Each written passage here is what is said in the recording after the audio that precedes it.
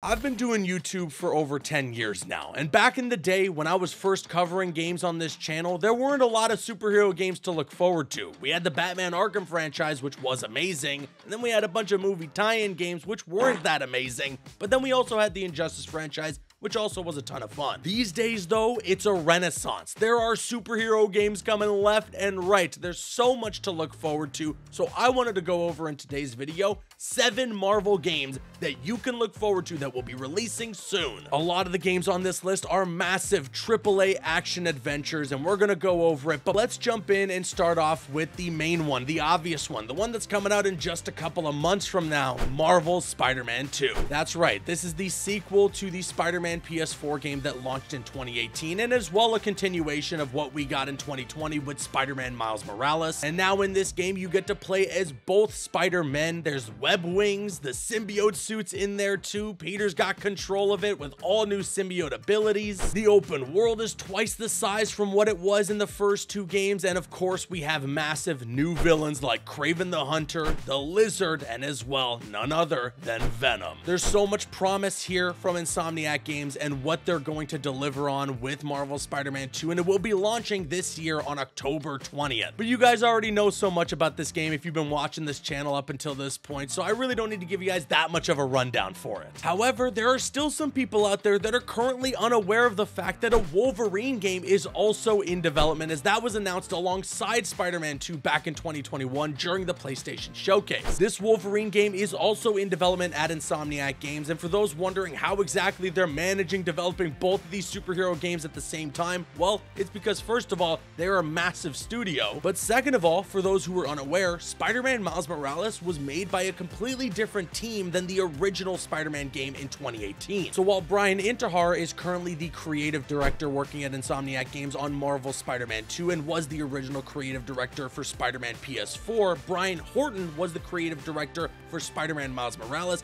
and is now shifting focus to Marvel's Wolverine. It's also been seen online as well that a lot of folks at Insomniac are wrapping up their work on Spider-Man 2 and are now transitioning to Marvel's Wolverine. My assumption is now that we're closer to October 20th, that release date for Spider-Man 2, it's starting to become all hands on deck for the Wolverine game. And now we currently don't have a release date for Marvel's Wolverine. However, Jeff Grubb, who is a known insider and has had plenty of accurate information, has said that the game could be coming as early as next year. He did mention that he expects there to be an internal delay and we may not see it up until 2025, which is when most people are expecting to see the Wolverine game. But if Insomniac nails the landing and they surprise us, a Wolverine game next year would be so exciting. Jeff Grubb has also mentioned that this game game is aiming to be rated M for mature, which is something that I'm very glad about. You need to do Wolverine right, and I think Insomniac is aware of that, so going for that M rating is something that I'm happy to hear. Plus, it said that the game might be semi-open world, which is something that's akin to the God of War game, so that's very interesting, and we also know based on that reveal trailer that it might be taking place in Madripoor. There are several theories about the story for the game, and we can actually see, considering that it might be taking place in Madripoor, at the end of the trailer, there's an eye patch on the table right before Wolverine Wolverine pulls out his claws. I mean, kind of, you know, on the nose there. But this was an alter ego that Wolverine used when he was on the run and trying to hide himself in Madripoor. Who knows what's going to happen in this game, what other X-Men related stuff we might see in it, but I am so excited that the next Marvel game coming from Insomniac after Spider-Man 2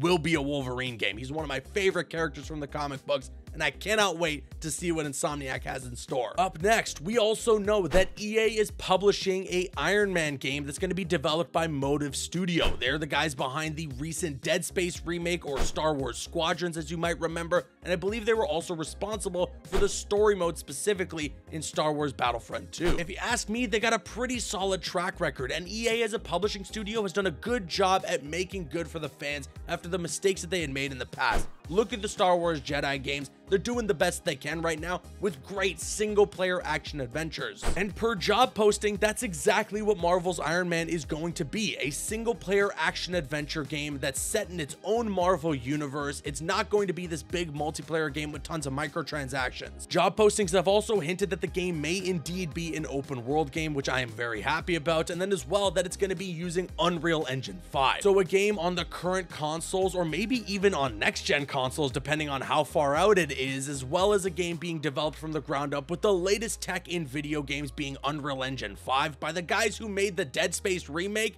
That's a hell of a triple whammy. Keep your eyes peeled for this one and also make sure you subscribe to the channel as I'll keep you up to date on all the games on this list. If you cannot wait for the upcoming Marvel games that are on the horizon, I need you to scroll down hit the thumbs up button, share your excitement with me, and let's get 4,000 likes for today's video. Okay, I have to be honest with you here. Originally on this list, I had a mobile game by the name of Marvel World of Heroes, and it was from the same guys that did Pokemon Go. There was a lot of promise. This had a soft launch, I think, in New Zealand, and it was planned to drop sometime this year, and well, it was one of those games that I wanted to mention that was in development and potentially releasing soon. But in the midst of making this video, it was announced that Niantic has unfortunately laid off tons of employees, closed down their LA studio and are ceasing production on Marvel World of Heroes. Really some sad news, honestly. I feel for all the people that were unfortunately laid off in this situation, and I honestly don't know how a Marvel game doesn't get through on the mobile market. But for whatever reasons that I unfortunately do not have the knowledge on, something happened here and they have to cease production. I don't know if that means that it's canceled entirely.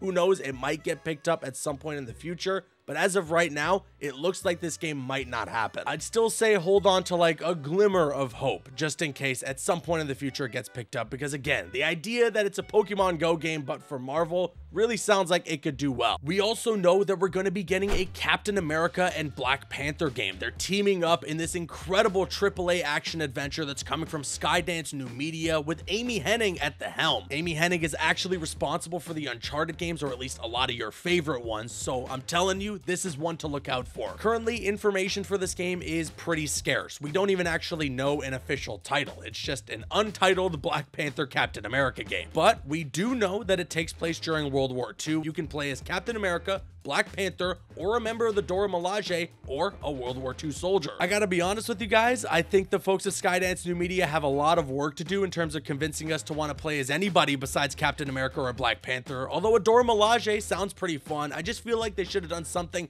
other than a World War II soldier. Like, I don't know, maybe make it Bucky Barnes or just something a little more interesting for Captain America's side of things. Nevertheless, though, I don't want to put any doubt on this again with Amy Hennig behind it and a really good team of some industry veterans. But considering the game doesn't even have a title, I think we are quite a ways away before we're even going to hear anything else about this game. Now let's jump into the rumor territory. This game is currently unconfirmed, but comes from a source that also confirmed the Iron Man game before it was even initially announced. You see, Jeff Grubb, who we were just talking about when I mentioned that Wolverine game, said a long time ago that a Black Panther game is currently in development at EA. And this is separate from the Captain America Black Panther team up. You see, a little while back, before EA officially announced that they're going to be making an Iron Man game, Jeff Grubb said that they're working on an Iron Man game, but he also said that Black Panther is on the list of EA games that we're going to see at some point. And from what he had mentioned, the story setup for the Black Panther game is that T'Challa actually has passed away at the start of the game, and it's a create a character where we're going to be taking up the mantle of the Black Panther. And it's also said that this will be an open world game, according to Jeff Grubb. I am very much looking forward to seeing when they officially announce this, what team is working on it currently, what it's going to look like, and what the story will be beyond what the setup is. And that brings us to our seventh and final game that we know currently is in development at Marvel Games and will be releasing at some point in the future, but right now it's currently unknown. You see, back when Marvel's Iron Man game was announced to be in development by Motive Studio and published by EA, it was also announced that EA had signed a deal with Marvel on a multi-year, multi-game partnership. And it was said in the official press release that EA is going to be developing at least three single player action adventure games that are going to be set in their own Marvel universe. So we know we got Marvel's Iron Man, that's been officially announced. Rumors say, according to Jeff Grubb, that a Black Panther game is also on the way